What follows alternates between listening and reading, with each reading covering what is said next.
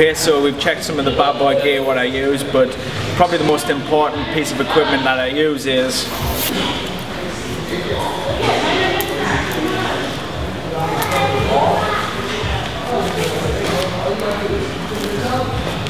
the Bad Boy MMA compression cup and shorts.